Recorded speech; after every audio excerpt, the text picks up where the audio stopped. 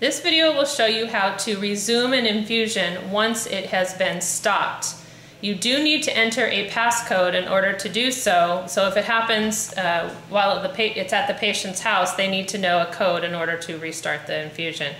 So if the patient or a caregiver selects stop and they want to stop the infusion,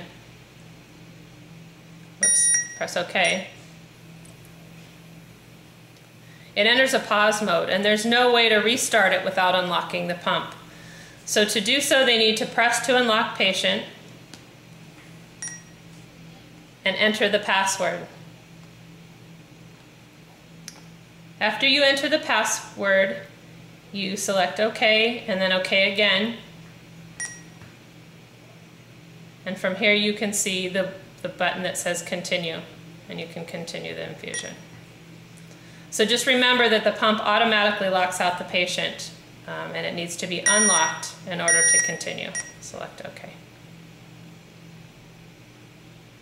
And it's running again.